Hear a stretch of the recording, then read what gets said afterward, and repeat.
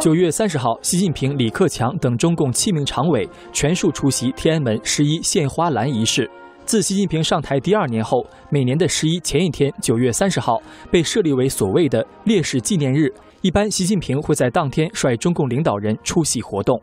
习近平上台以后呢，他试图拯救中国共产党的这个权力大溃烂式的危机。那他用什么办法来拯救呢？他就要通过回归毛泽东的原教旨主义的方式来拯救共产党。他实际上就是要用一种过去的罪恶来拯救共产党今天的罪恶的命运。三十号当晚，中共举行十一庆祝酒会，除七常委外，久未露面的王岐山也有出席。习近平没有讲话，而是总理李克强代表发言。李克强在讲到港澳问题时，称将继续贯彻“一国两制”、港人治港的方针。然而，近两年来，中共推出港版国安法，并彻底修改香港选举制度，很多专家认为“一国两制”已经名存实亡。对香港的这种伤害已经成为既定事实，国际社会也是很难去改变这种现状，只能进行一个谴责，然后进行一个适当的制裁。有学者指出，今年的中共建政日，北京正面临自六四事件以来最严重的内外交困，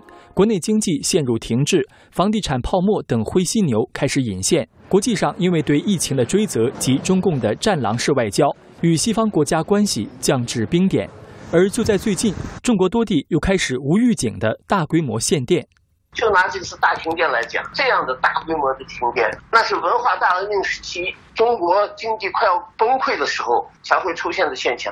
这就是一个预警，这就是一个象征。